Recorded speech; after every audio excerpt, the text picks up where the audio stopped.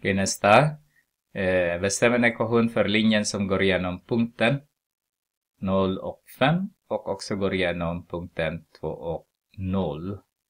Det betyder att i addarna då, det betyder att ni har 0 och 5 och sen 5 och, nej 2 och 0.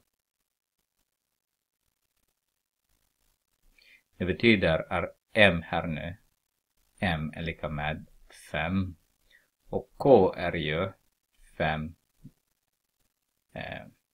5 eh, minus 0, om man nu säger så. Och sen 0 minus 2. Så har vi 5 genom negativ 2. Så har vi negativ 2,5.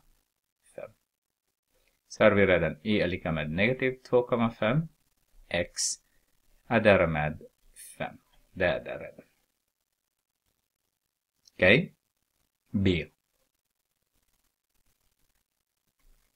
Är parallell med x-axeln som vi ska gå igenom den punkten. Det betyder att om jag har så här punkten 0 och 5 1, 2, 3, 4, 5 där. Och det ska vara parallell med x-axeln. Så den där är min. Och här är ju y är lika med 5. Så B, d, inte B. B är y är lika med 5. C är parallell med y-axeln. Och det självaste y-axeln. Därför det måste gå igenom den här. Så har vi x är lika med 0 i den.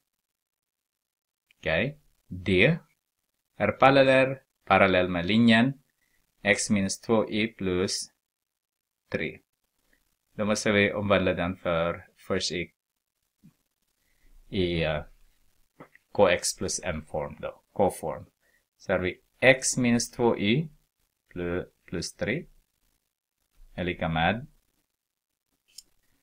0.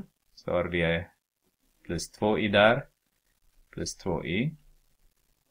Så har vi 2y är lika med x plus 3 genom 2 genom 2. Så har vi y är lika med en halv x och sen plus 1,5.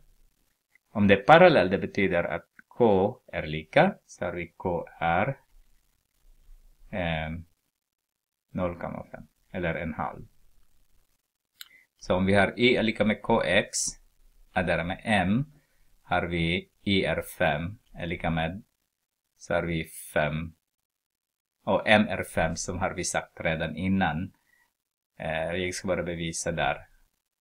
Det blir 0 plus M. Så den här är 0 redan, så M är lika med 5. Så har vi Y är lika med 0,5x plus 5. Istället att det går igenom 1,5 så går det genom